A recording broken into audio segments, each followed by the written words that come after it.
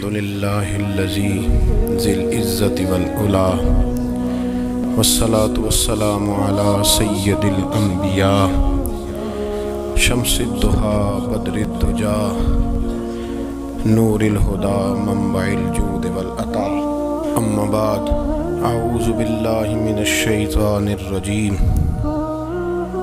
बिस्मिल्लाहिर रहमानिर रहीम यगुद्दु मिन अबसारिहिम सदक़ल्लाहुल अज़ीम व सदक़ रसूलुहुन नबियुल करीम व नहनु अला ज़ालिका लमिन शाहिदीन व शाकिरीन वल्हम्दुलिल्लाहि रब्बिल आलमीन इन्नल्लाह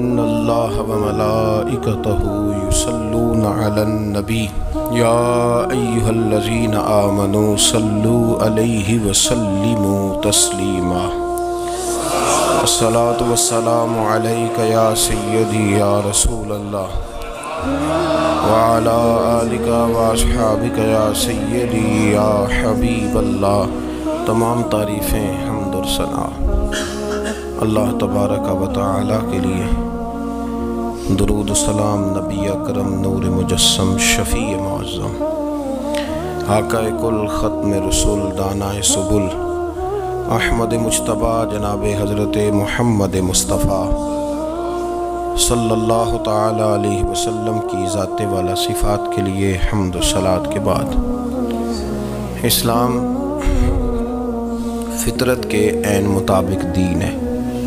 नबी पाक सल्लल्लाहु अलैहि वसल्लम ने फरमाया है कि मैं अखलाक आलिया की तकमील करने के लिए दुनिया में आया जितने अखलाक हो सकते थे, जितनी खूबसूरतियाँ हो सकती थीं, जितनी अल्लाह को महबूब थीं, वो सारी मेरे नबी करीम ने बयान फरमाई। सारी रसूल करीम सल्लल्लाहु ताला अलैहि वसल्लम ने बयान कर दी हैं, जितनी खूबसूरतियाँ हो सकती थी। कुछ लोग ऐसे होते हैं जो बेचारे बाई नेचर ही कुछ परेशानियों का शिकार होते हैं।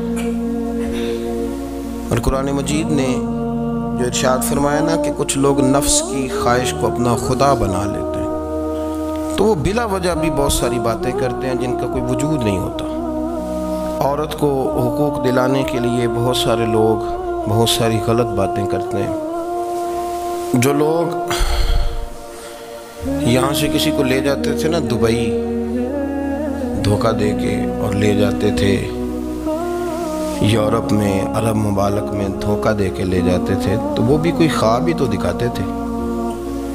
तो इतने लाख तनख्वाह होगी, इतना कुछ होगा, वहाँ जाके पता चलता था कि जेब से भी देने पड़ेंगे कुछ। बहुत सारे लोग ऐसे होते हैं, वो सारे खूबसूरती के नाम पर ही धोखा देते हैं। आपको पता है कि जो आदमी किसी को लालच देता है तो किसी को लूटने के लिए उसे लालच देना बड़ा ज़रूरी होता है। लोग पहले लालच देते हैं, फिर लूटते हैं। पहले मुकम्मल लालच देते हैं। ये चीज़ मिल जाएगी, ये चीज़ मिल जाएगी। लोग मुकम्मल लालच देते हैं, उसके बाद फिर लूटते हैं। और अगर लालच ना दें तो कोई आदमी काबू आएगा? लोग लूटते हैं लालच देकर। अच्छा वो जो जिसको लालच दिया जा रहा होता है, वो कह रहा होता है कि नहीं नहीं, तुम्हें नहीं पता। वो उस वक़्त मानने को तैयार नहीं होता। वो कहता इतनी खूबसूरत बातें कर रहा है, इतनी अच्छे पैगाम दे रहा है। तुम मेरे दुश्मन हो, तुम मुझे मना कर रहे हो। होश तब आती है कि जब सब कुछ लुट जाता है। औरत को वैसे भी काबू करना बड़ा आसान आला हज़रत बरेलवी अलैह फरमाते हैं, बेटियाँ नाजुक शीशियाँ होती इनको तो ज़रा सी चोट लगे तो टूट जाती देखिए कितना बड़ा जुमला का बरेली का इमाम। नाजुक शीशियाँ ज़रा कोई आदमी गुमराह करता है, ज़रा ख़राब करता है। अब देखे ना, ये जो बच्चियों को बच्चे एक मिस गाइड करते हैं, उन्हें बड़े बड़े ख्वाब दिखाते हैं। वो बेचारी माँ बाप को छोड़ के बहन भाई को छोड़ के इसके साथ शादी करती है, फिर जो उसका बाद में अशर होता है। आप उदलियाँ सरदार पहन तके, ते शर्मा वालियाँ झूठे डोलियाँ दे। फिर वो बेचारी माँ बाप रखते नहीं, वो जुल्म करता है तो कितनी बड़ी तकलीफ़ में वो बच्ची आ जाती। नाजुक शीशी होती है ना तो टूट जाती। यही हाल अब जदीद ख़वातीन और ये जो कुछ एंकर पर्सन हैं, ये असल में ना ये आपको सियासत सिखाते हैं, लेकिन ये मादर पिदर आज़ाद लोग हैं। बिल्कुल आज़ाद। ये तो उलमा शोर ना करें, बात ना करें, गुफ्तगु ना करें मशाइ बात ना करें, और ये जो कुछ संजीदा और दीनी तबका है, ये कुछ शोर ना करे, ये तो रोडों पे नंगे होके आ जाए माजल खौफनाक नज़रिया रखते हैं ये लोग। औरत को कहते हैं, तेरे हुकूक हम तुझे लेके देंगे। मसलन वो कौन सा हक है जो तुमने लेके देना है? मेरे नबी करीम सल्लल्लाहु अलैहि वसल्लम, इसको बेटी भी बनाया है, इसको बहन भी बनाया है, इसको माँ भी बनाया है, इसे बीवी का आलीशान रुतबा भी अता फरमाया है। और चूँकि बेटी का भी हक बड़ा बयान किया जाता है, बहन का भी, माँ का भी, और बीवी के मामले में लोग समझते हैं कि ज़्यादा बात नहीं करनी चाहिए, शायद मसला ख़राब हो जाए। हालाँकि नबी पाक सल्लल्लाहु अलैहि वसल्लम ने बीवी के बारे में पता क्या फरमाया? फरमाया, जब तुम निकाह कर लेते हो तो अपना ईमान महफूज कर लेते हो। अब मैं इसकी शरह नहीं करता, अब खुद कर लीजिएगा कि वो एक ऐसी शख्सियत होती है कि जिसकी मौजूदगी में आपका ईमान महफूज है। अब मैं नहीं समझता कि इससे बड़ी बात कोई और हो सकती है, जिसकी मौजूदगी में आपका ईमान, और भाई ये हदीस पा कर्ज कर रहा हूँ, निकाह जब कोई कर ले तो उसने अपना ईमान मुकम्मल कर लिया। इसका माना ये हुआ कि आपका ईमान महफूज है उसकी मौजूदगी में तो इससे ज़्यादा भी, यानी ईमान सबसे कीमती चीज़ है ना। तो उसके महफूज होने की वजह हजूर ने निकाह बयान कर दी। अब मेरा ख्याल है, बीवी अगर कोई इससे बड़ा हुकूक मांगेगी तो बेवकूफ़ी करेगी। इतना बड़ा दर्जा नबी करीम ने उसे अता कर दिया इतना बड़ा मकाम दे दिया कि तू खामद के ईमान के महफूज होने का ज़रिया बन गई है। औरत को जो हुकूक रसूल करीम सल्लल्लाहु अलैहि वसल्लम ने अता फरमाए, नबी पाक ने जो हुकूक दिए। देखे ना, हज़रत अब्दुल्ला इब्न उमर रदी अल्लाह तु की अहलिया बीमार थी। तो जल्दी जल्दी से वो आए तो जब बहुत जल्दी हो, सफ़र बड़ा शदीद था तो आपने जल्दी से नमाज़ अदा की, जल्दी से चले। आपके खादिम कहने लगे, हजूर खैरियत है। फरमाया, मेरी बीवी बीमार है। तो उसने अर्ज़ की, हजूर, आपकी अहलिया बीमार है। तो आपने नमाज़ भी जल्दी से पढ़ी, सफ़र भी जल्दी जल्दी किया। तो फरमाने लगे, ये वो चीज़ें हैं जो हमें मदीने वाले रसूल ने सिखाई आप इस कैफियत को समझें कि हुजूर सल्लल्लाहु अलैहि वसल्लम ने दर्श दिया। और फिर एक और बहुत बड़ी बात, ये फजीलत किसी और को नहीं दी।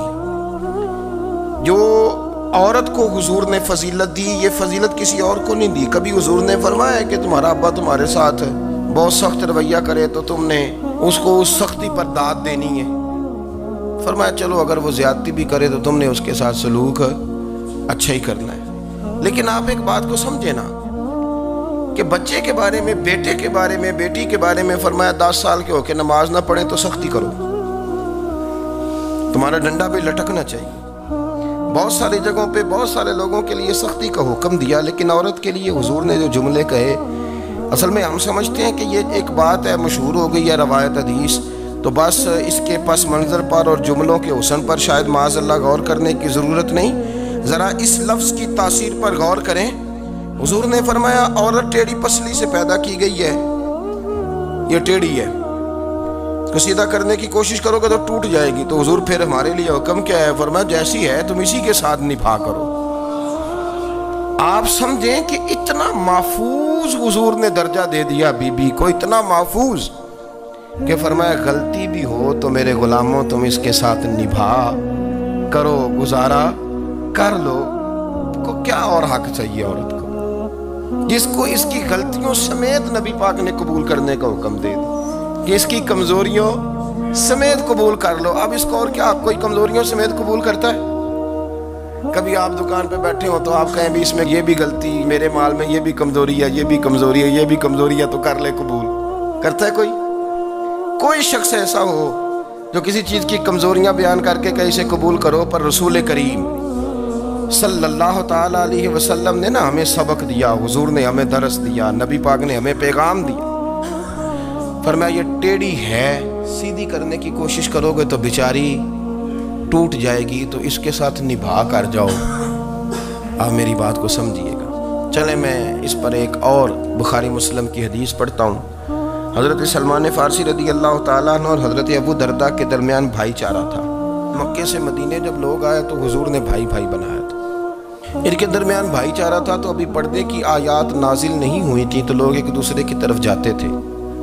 हज़रत सलमान फ़ारसी रदी अल्लाह तु हज़रत अबू दरदा रदी अल्लाह तु के घर में तशरीफ़ ले गए तो देखा कि उनकी बीवी बड़ी गमगीन बैठी तो हमने फरमाया, बहन, क्या हुआ? तो कहने लगी, तुम्हारे भाई को दिलचस्पी कोई नहीं रही? हर रोज़ रोज़ा रख लेता है और सारी सारी रात नफल पड़ता है। हज़रत सलमान फारसी कहने लगे, ठीक है, कर लेते हैं बंदोबस्त। नमाज़ दीन है कि नहीं? दीन है ना ये चीज़ें? लेकिन हज़रत सलमान फारसी जनाब अबू दरदा से कहने लगे, आज मैंने तेरे घर में रहने रात को। क्योंकि वो तो सारी रात नमाज़ पढ़ते थे, नफल पढ़ते थे। उन्होंने कहा, ठीक है, एक बिस्तर ला के बिछा दिया हज़रत सलमान फारसी के लिए। सलमान फारसी फरमाने लगे, दूसरा भी ला। कहा, वो क्या करना है? फरमाने लगे, तूने भी सोना है। मैंने भी सोना है तूने भी सोना। है इशा पढ़ेंगे और फिर दोनों सोएँगे। का मैंने तो नमाज़ पढ़नी है। फरमाया तहजद के वक्त उठ के पढ़ेंगे, अल्लाह के रसूल भी रात आखिरी हिस्से में जाके नमाज़ पढ़ते आ, इधर साथ सुला लिया। वो थोड़ी को देर सोए, अब आदत थी सारी रात उठने की। ज़रा उठने लगे बिस्तर से। तो उधर सलमान फारसी फरमा चुप करके सो जा।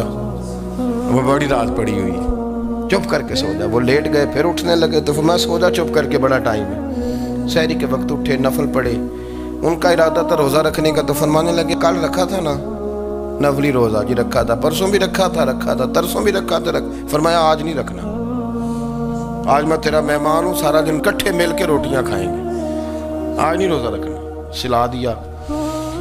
अब हज़रत अबू दरदा रदी अल्लाह तु कह तो कुछ ना सके। पर कहने लगे, सलमान, तुम पता तुम क्या कर रहे हो? ना तुमने मुझे रात उठ के ज़्यादा नफल पढ़ने दिए सवेरे रोज़ा नहीं रखने दिया। तो हज़रत सलमान फारसी कहने लगे, कोई लंबी बात तो नहीं ना? चलते हैं ना अभी फजर में, मस्जिद नबी में। तो नबी पा को बताते हैं। सरकार दो आलम सलाम की खिदमत में तो अपनी बात करना, मैं अपनी करूँगा। हजूर नतीजे का ऐलान फरमा देंगे, बात तय हो जाएगी। हाजिर खिदमत हुए। अर्ज़ की, या रसूल सल्लल्लाहु अलैहि वसल्लम, ये सारी रात नफल पढ़ते हैं, हर रोज रोज़ा रखते हैं। इनकी अहलिया गमगीन बैठी हैं। हुक्म फरमाए नबी पाक सल्लल्लाहु अलैहि वसल्लम ने फरमाया, फिर हुआ क्या? यार रसूल मैंने रात सुलाया है, शहरी में उठाया है, सवेरे रोज़ा नहीं रखने दिया। नबी पाक ने फरमाया, सलमान फारसी ने ठीक किया। सलमान फारसी ने ठीक किया, फिर हजूर ने फरमाया, नबी करीम ने फरमाया, अबू दरदा, तेरे ऊपर अगर अल्लाह का हक है, उसके रसूल का हक है, दीन का हक है तो फरमाया, तेरी आँख का भी तेरे ऊपर हक है। तेरे वजूद का भी तेरे ऊपर हक है, ये हुजूर ने फरमाया, तेरे बच्चों का भी तेरे ऊपर हक है, तेरी बीवी का भी तेरे ऊपर हक, इस हक को भी समझे। हुकूकुल्ला भी हैं, पर तेरी आँख का भी तेरे ऊपर, क्या माना कि तेरी आँख सोना चाहती है? तो इसे सुला भी, तेरे वजूद का भी तेरे ऊपर हक तो तेरा वजूद आराम करना चाहता है तो इसे आराम भी करा और फिर वहाँ नबी पाक सल्लल्लाहु अलैहि वसल्लम ने फरमाया, मैं तुम सब सुनना ये लफ्ज़ हदीस के हुजूर ने उसी मौके पर फरमाया, मैं तुम सबसे ज़्यादा अपने रब को जानता हूँ और मैं तुम सबसे बढ़कर अपने रब से डरता हूँ। हुजूर फरमाने लगे, मैं रोज़ा भी रखता हूँ, इफ्तार भी करता हूँ। यानी कभी रखता हूँ और कभी नहीं रखता। फरमाया, मैं नफल भी पढ़ता हूँ और अपनी बीवियों को वक्त भी देता हूँ। सरकार मस्जिद में भी आते थे, नवासों के साथ खेला भी करते उनके साथ प्यार भी करते तो इतने बड़े हुकूक हजूर ने बयान फरमाए औरतों के। कि तुम्हारी बीवी का भी तुम्हारे ऊपर लो एक हदीस बुखारी की और यहाँ बयान कर देता हूँ। एक शख्स ने आके अर्ज़ की, या रसूल अल्लाह सल्लल्लाहु अलैहि वसल्लम जिहाद के लिए तैयारी हो गई है।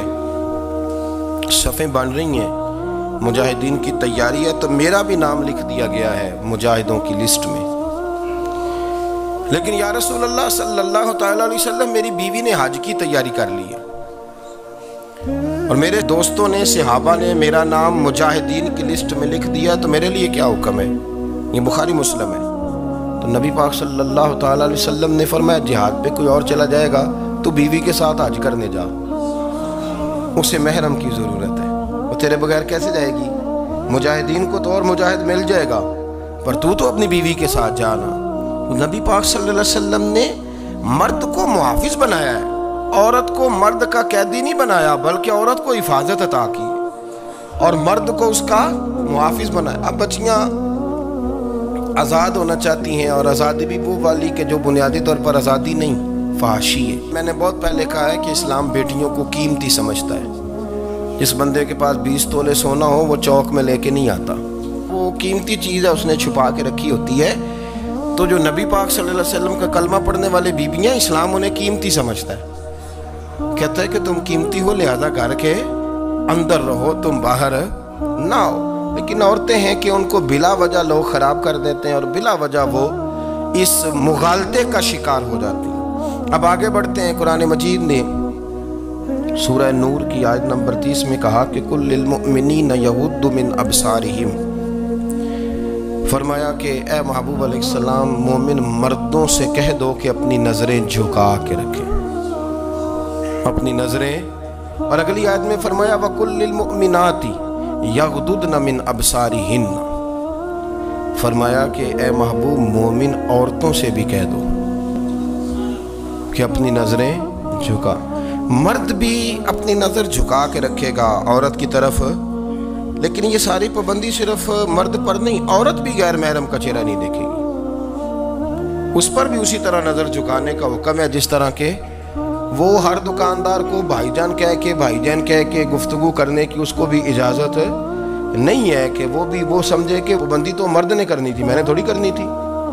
वो जिसके पास जाए, जहाँ भी जाए, डॉक्टर के पास जाए, बाहर जाए तो वो जिस तरह मर्ज़ी उसका दिल चाहे, वो बातचीत करे, इसकी औरत को भी इजाज़त इस्लाम नहीं देता। बुनियादी तौर पे इस्लाम शर्म हया का दीन है।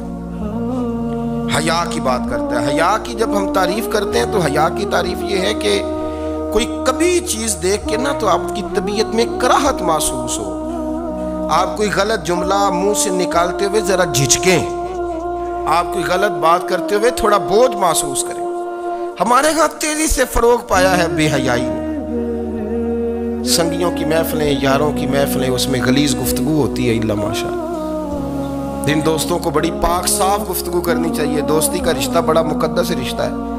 जो यहाँ एक दूसरे से प्यार करेंगे, जन्नत में भी इकट्ठे दाखिल किए जाएँगे। शर्त यह है कि प्यार अल्लाह रसूल की रजा के लिए हो, लेकिन उसके अंदर अगर आपकी गुफ्तगु कच्ची हो, कमज़ोर हो, फाशी वाली हो, उरियानी वाली हो हमारे यहाँ तो अब इसको लोग फ़ैशन समझते हैं, इसको मर्दानगी की अलामत समझते हैं कि वो जी सारी बातें वहाँ हो गई। और जिसका जो जी चाहा उसने कहा। आप जब हया के दायरे में होते हैं तो आप खुद भी सुकून महसूस करते हैं। देखे ना, आपको नींद सुकून से कहाँ आती है? जहाँ कमरा बंद हो। चारों जानब दीवार है, ऊपर छत है। खाली दरवाज़ा भी खुला हुआ हो ना तो जब बंदा सुकून लेना चाहता है तो कहता है, यार, ज़रा दरवाज़ा ज़रा बंद कर दो। वो अच्छी तरह अपने आप को छुपा लेता है ना, हया के पर्दे में तो अल्लाह उसे सुकून अता करता है। और जो उससे भी ज़्यादा ठंडी नींद में जाना चाहता है, वो कहता है लाइट भी बंद कर दो। अब वो मुकम्मल तौर पे समझता है कि मैं चारों जानब से छुप गया हूँ। अगर मैं खोल के भी सो जाऊँगा तो मेरा चूँकि पर्दा कायम है तो मुझे कोई दुश्वारी नहीं होगी। आप जब छुप जाते हैं, जब आप हया के अंदर सिमट जाते हैं, जब आप चादर के अंदर आ जाते हैं तो आप बहुत सारी जगहों पे आसानी महसूस करते हैं। तो हया तो आपको सुकून देती है, हया तो दिल को राहत देती है। मैं बड़ी ज़िम्मेदारी से बात अर्ज़ करता हूँ। कुरान मजीद ने ना, एक मकाम पे मज़ाक को, एक मज़ा होता है, खुशतबी, वो नहीं, मज़ाक मज़ाक उड़ाना। कुरान पाक ने ना मज़ाक को एक जगह पे जाहिलों का तरीका भी करार दिया। बनी इसराइल के लोगों से हज़रत मूसा ने कहा कि गाय ज़िबा करो और एक टुकड़ा मकतूल को मारो, ज़िंदा होके खुद बता देगा मुझे किस बंदे ने कत्ल किया। तो कहने लगे, आप हमारे साथ मज़ाक कर रहे हैं। तो कुरान मजीद कहता है कि हज़रत सैदना मूसा फरमाने लगे, आऊज जाहिलीन। फरमाने लगे, मैं अल्लाह की पनाह माँगता हूँ कि मैं जाहिलों में से हो जाऊँ मज़ाक करना तो जाहिलों का तरीका है। अगर आपकी ज़ुबान से बेहयाई का जुमला निकल गया, अगर आपकी ज़ुबान से बेहयाई का जुमला निकल गया, आपने कह दिया कि हम आज़ाद लोग हैं, जो मर्ज़ी करेंगे, जो मर्ज़ी कहेंगे, जो हमारा दिल में आएगा करेंगे। फिर तो लोग आपका वो अशर करेंगे कि आपसे बर्दाश्त ही नहीं होगा। जिसका लोग मज़ाक बना लेते हैं और जो मज़ाक बन जाता है, फिर उसे कुछ जीने देता है। आप हया की चादर में छुपेंगे तो बचेंगे। अगर आपने अपना मज़ाक बनवा लिया, ये कह के कि मैंने मर्ज़ी करनी है, फिर याद रखना छुपने को जगह नहीं मिलेगी। फिर तकलीफ़ में आ जाएँगे। फिर बहुत बड़ी अजियत का शिकार हो जाए शर्म हया अरब के अंदर जो कवारी लड़कियाँ थी, उनमें बड़ी हया होती थी। अल्हम्दुलिल्लाह, मैं बड़े फ़ख्र से कहता हूँ कि मेरे पंजाब की, मेरे पाकिस्तान की बेटियाँ भी बीस दफ़ा उनका अब्बा कहे, तेरी शादी करनी है। तो वो आँख नहीं उठा पाती, आज भी। ये तो वो चंद लोग हैं जो कहते हैं, हम हाई क्लास हो गए। हमें नहीं पता कि वो वो रोशन ख्याल हो गए हैं कि रोगन ख्याल हो गए। पता नहीं किधर चले गए, वरना हमारी बेटियाँ आज भी, आज भी जब उनसे उनका बाप, उनकी माँ बात करती है तेरी शादी की तो वो तो शर्म के साथ पिछले से पिछले कमरे में छुपती हैं। ये अल्लाह ने फजल किया हुआ है इस मिल्लत पर। तो अरब की लड़की बड़ी हया वाली होती थी, उससे को बात करनी पड़ती थी तो बीस दफ़ा बात की जाती। फिर भी वो औरत छुपती फिरती थी। हज़रत आयशा सिद्दीका रदी अल्लाह तला फरमाने लगी, मेरे नबी पाक सल्लल्लाहु अलैहि वसल्लम अरब की कवारी लड़कियों से भी ज़्यादा हया करने कादी मालकी ने शेख अब्दुल हक से दिलवी ने दीगर बुज़ुर्ग जो सीरत निगार गुजरे, उन्होंने लिखा है कि नबी पाक सल्लल्लाहु अलैहि वसल्लम के अंदर सौ मर्दों से ज़्यादा ताकत थी। सौ मर्दों से ज़्यादा ताकत। अब जो बात कहने लगा हूँ, जो नतीजा देने लगा उस पर ख़ास तवज्जो आप अब आप फरमाएँगे। ज़रा फिक्री तौर पर, नज़रियाती तौर पर एक चीज़ को समझिए। हम समझते हैं कि जवान लड़का है जी, जो मर्ज़ी करे। उम्र है जी, आप ज़रा बात पर गौर कीजिएगा। कि हुजूर सल्लल्लाहु अलैहि वसल्लम में ताकत सौ मर्दों से ज़्यादा है और हया कवारी लड़कियों से भी ज़्यादा है। जरा इस बात का तकाबुली जायजा कीजिएगा कि ताकत सौ मर्द से ज़्यादा है, लेकिन हया कवारी लड़की से भी ज़्यादा है। इसका माना ये हुआ, इसका माना ये हुआ कि जिस टहनी को फल ज़्यादा लग जाते हैं, वो झुका करती झुका करती हया तो हुसन है। हया तो आपको पाक साफ़ करेगा। हया तो आपको निराला करेगा, अनोखा करेगा। वो हमारे एक दानश्वर है तुमने मजमून लिखा, कई बातें बड़ी पसंद आती हैं। वो कहते हैं कि मेरी अहलिया, उनको भी किसी ने ना मिस गाइड कर दिया था। हालाँकि अच्छी खातून है, नहीं किसी ने मिस गाइड कर दिया। तो वो भी समाजी और वेलफेयर और ये खातन को शौक़ होता ना बनने का तो वो भी समाज के अंदर अच्छा मकाम तलाश करने के मूड में आ गई। तो कहीं एक दिन जाना था तो बड़ी बन संवर के मेरे साथ वो गाड़ी में बैठ गई। तो मैं गाड़ी में औरतों को ये भी मसला होता है ना कि हमारी तारीफ़ करो। तो कई दफ़ा बाद मर्दों बेचारों को झूठ बोलना पड़ता है। तो ज़बरदस्ती कराती है ना जी। तो उसमें गुंजाइश भी दी है शरीयत ने। शरीयत ने गुंजाइश दी है कि कभी बीवी को राज़ी करने के लिए खिलाफ वाक़ बात करनी पड़े तो कर लेनी चाहिए। तो वो कराती भी हैं। तीन मौके पर खिलाफ वाक़ बात करने की इजाज़त है।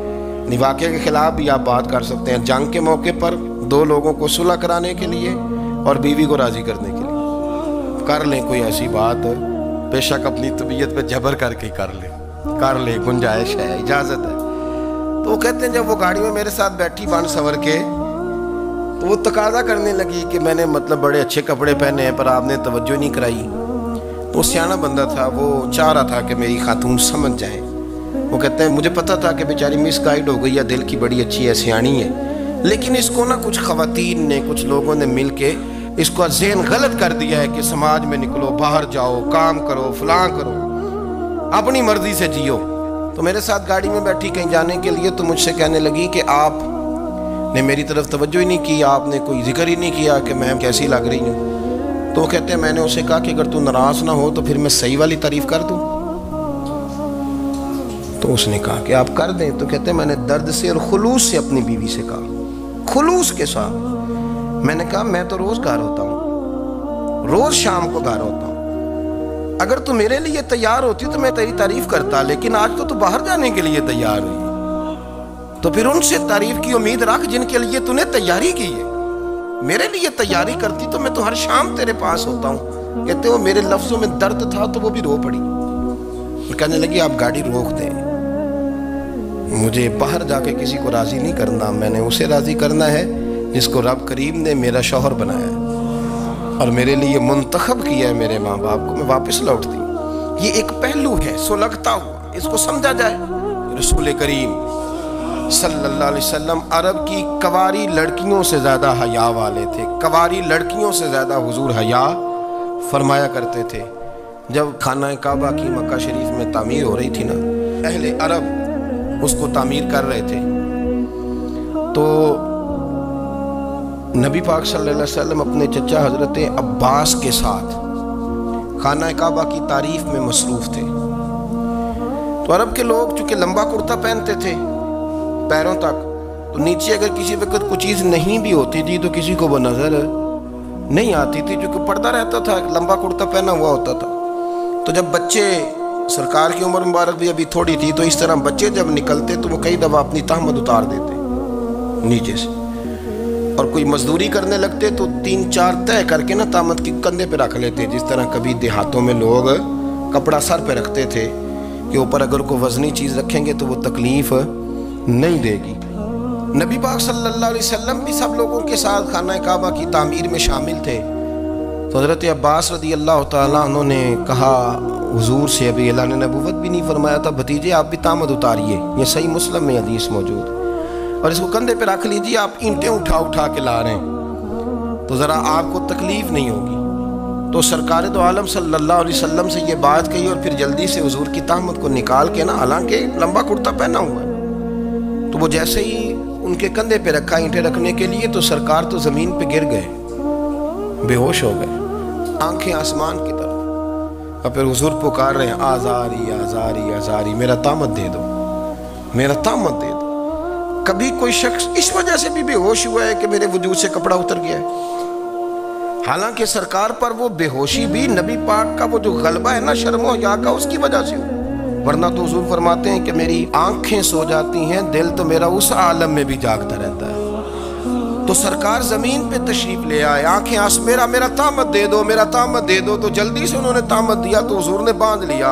फिर तबीयत मुबारक में तसल्ली हुई।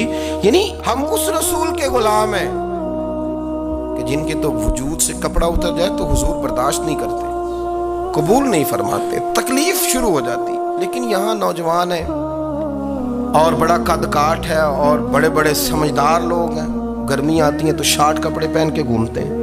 उनको ख्याल नहीं कि ये वो वाला लिबास है जो बाहर तो क्या घर में अम्मा के सामने नहीं पहनना चाहिए, बहनों और बेटियों के सामने नहीं पहनना चाहिए। आपकी गुफ्तगु में शर्मो हया हो, आपके लबो लहजे के अंदर हुसन हो। आपको पता है, नबी पाक सल्लल्लाहु अलैहि वसल्लम ने फरमाया, मेरी उम्मत में सबसे ज़्यादा हया करने वाले उस्मान गनी है। उस्मान गनी सबसे ज़्यादा हया करने वाले। आप फरमाया करते थे, जब से हुजूर का चेहरा देखा है, मैंने कभी अपनी शर्मगाह भी नहीं देखी। मैंने आँखों का वज़ू नहीं तोड़ा। और जब से हुजूर के दस्ते मुबारक में मैंने बैत के लिए सीधा हाथ बढ़ाया तो फिर सीधा हाथ मैंने कभी गंदगी को नहीं लगाया। हयात, आप बाथरूम के अंदर भी गुसल फरमाते थे तो कपड़ों समेत करते थे। किसी ने कहा, हज़रत जी वाशरूम के अंदर क्यों नहीं कपड़े उतारते? आप फरमाने लगे, बाहर बंदों से हया करता हूँ, अंदर जाता हूँ तो रब से हया आनी शुरू हो जाती। वो तो देख रहा है ना? तो मैं जो बात आपकी खिदमत में अर्ज़ करना चाहता हूँ, उसको आप समझिएगा मेरे अज़ीज़, कि शर्म वाला मिजाज, गुफ्तगु भी शर्म वाली, आँखें भी शर्म वाली, लिबास भी शर्म वाला, दोस्ती, यारी भी शर्म वाली, बहुत सारी ऐसी बातें। देखे ना, आप ज़रा, मैंने कहा कि बातों को सुन के गुजर ना जाया करें, उसकी गहराई पर गौर करें। हजूर इल्म का समुंदर है, सरकार से ज़्यादा इल्म दुनिया में किसी के पास मौजूद नहीं है। और सिहाबा को मौका मिला हुआ उस समुंदर से फैज़ लेने का। लेकिन उनकी हालत यह है कि हज़रत अली मुर्तज़ा फरमाते चौदह चौदह दिन गुजर जाते। हजूर से कुछ सवाल पूछना होता था, पर मैं शर्म के बारे नहीं पूछ पाता था। चौदह चौदह दिन बुखारी शरीफ में मौजूद है। एक दिन नबी पाक सल्लल्लाहु अलैहि वसल्लम ने पूछा सिहाबा से कि वो कौन सा दरख्त है जिसके पत्ते नहीं गिरते? और वो दरख्त इस तरह है जिस तरह मोमिन होता है। वो दरख्त मेरे मोमिन की तरह, बताओ। हज़रत अब्दुल्ला इबन उमर फरमाते, मुझे पता था कि वो खजूर का दरख्त है। लेकिन चूँकि अबू बकर सिद्दीक भी बैठे हैं, उमर फारूक भी बैठे हैं, मौला अली भी बैठे हैं, उस्मान गनी भी बैठे हैं इतने इतने जैद लोग बैठे हैं तो मुझे हयात ही थी कि मैं क्यों जवाब दूँ? कहते सरकार ने कई दफ़ा पूछा, लोगों ने कई और दरख्त बताए, पर फरमाया, तुम्हारा जवाब दुरुस्त नहीं है। आप हया के इस पहलू पर गौर करें कि सवाल का जवाब आता है। सवाल का जवाब, यानी मुझे सवाल का जवाब आता और फिर मैं दू ना, मुझे बदअजमी ना हो जाएगी। ये कैसे मुमकिन है कि मेरी रात गुजर जाए, मुझे पता भी था और मैंने बताया नहीं। बहुत सारे लोग आके बहुत सारी बातें बताते हैं। बहुत सारी बातें वो समझाते हैं। तो हम गौर से उनका चेहरा देखने लग जाते हैं, कहते हैं, यार, इसका तो दावा था कि मैं समझ नहीं आता हूँ। तो ये तो हमें समझा रहा है। चलो, अल्हम्दुलिल्लाह, हम समझने को तैयार है। लेकिन मेरे अज़ीज़, पता भी है जवाब का। इल्म भी है, लेकिन फरमाते हैं, मेरी हया ने मुझे इजाज़त न दी कि मैं जवाब दूँ। आप फरमाते हैं, फिर हुजूर से सिहाबा ने अर्ज़ की कि यार रसुल्ला आप ही बता दें, वह दरख्त कौन सा है? तो हुजूर ने फरमाया, भाई, वो खजूर का दरख्त है। तो आप फरमाते मैं दिल ही दिल में कह रहा था कि अल्हम्दुलिल्लाह मेरा जवाब दुरुस्त है। हालाँकि मैंने जवाब दिया ही नहीं। तो लफ्ज़ों में हया, जुमलों में हया, आँखों में हया, उठने में हया, बैठने में हया, चलने में हया एक खूबसूरत हुसन है। और नबी पाक सल्लल्लाहु अलैहि वसल्लम ने फरमाया, जब तू बेहया हो जाए ना, फिर तू आज़ाद है। फिर तू जो मर्ज़ी का फिर तू जो, इसलिए बुज़ुर्ग जब किसी को बेहया कहते थे ना, अल्लाह अकबर। और जब किसी को कहते थे ना, ये बेहया है तो लोग समझते थे कि हल्की सी बात कर दी। लेकिन उनका माना ये होता था कि बस भाई, अब इसके साथ कोई कलाम करने की ज़रूरत है, इसको अब इसलाह की ज़रूरत नहीं। ये बेहया है। क्या माना?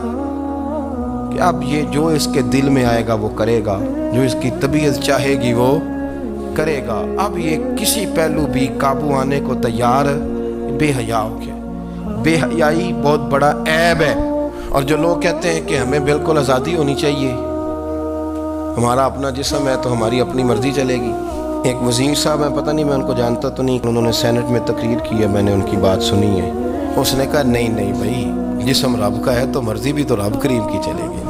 और मर्ज़ी भी, ये मर्ज़ी भी अल्लाह की। ये मुझे थोड़ा सा मसला है, जिसम पर कभी कभी मुझे कसरत सफ़र से एलर्जी हो जाती है। मेरे साथ लोग ना दिल से प्यार करते हैं। शायद ही कोई अच्छा डॉक्टर हो जिस तक मेरे संगी मुझे लेके ना गए पर जिसे मल्ला का है ना, मर्ज़ी भी।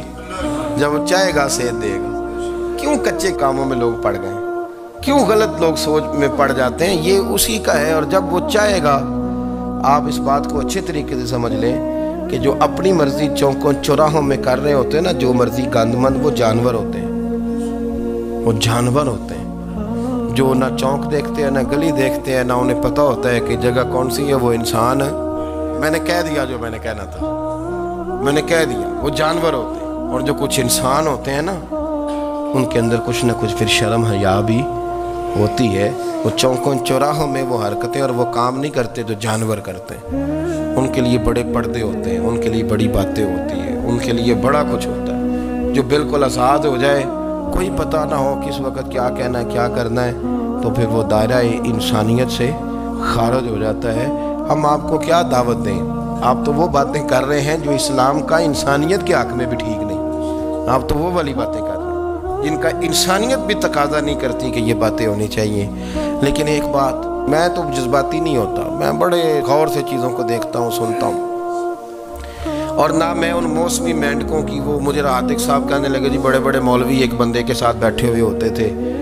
और वो रोज़े में बड़े बड़े दरस देता था तो वो भी फ़लानी फ़लानी हरकतें कर रहा है। तो मैंने कहा, हमने तो पुराना कहा था कि मौसमी मेंढक है। तो पुराने कह रहे हैं कि अदाकार है। तो वो जहाँ कास्ट करेंगे, वहाँ वो अदाकारी करेगा। आप किसी मजहबी जगह कर ले तो वहाँ कर लेगा। कहीं और जगह करेंगे तो हम तो पुराना कह रहे हैं। तो किसी को कभी समझ आती है तो किसी को कभी और जगह जाके समझ आती है। हम इन लोगों से परेशान नहीं होते। क्यों? सुन ले, कोई मायूसी नहीं। इनके अंदर जितना ज़ोर है वो लगाएँ। ये मुल्क बना है रसूलुल्लाह के नाम पे। ये अल्लाह ने तोहफा दिया है उम्मत मुस्लिमा को। ये नबी पाक के नाम पे बना है तो यहाँ झंडा भी वही वाला बुलंद होना है जो मदीने वाले रसूल का झंडा है। और यहाँ वही काम चलेगा जो नबी पाक ने बयान फरमाया। तो इस तरह कई लोग आते हैं, वो शोर शार करते हैं, चले जाते हैं। इतने ना परेशान हुआ करें। बहुत सारे लोग तो बेचारे इस काबिल भी नहीं है कि उनका नाम लिया जाए। मतलब इतना हम उनको अहमियत दे दें, उनका ज़िक्र करें, उनका नाम लें, उनकी बात करें, वो बेचारे इस काबिल ही नहीं है मतलब स्टेटस ही नहीं है हमारा। इतने फारग है हम कि अब जो बंदा आएगा, कहानी छेड़ेगा तो हम छेड़ जाएँगे, और भाई अल्लाह का फजल है। अल्हम्दुलिल्लाह ताला।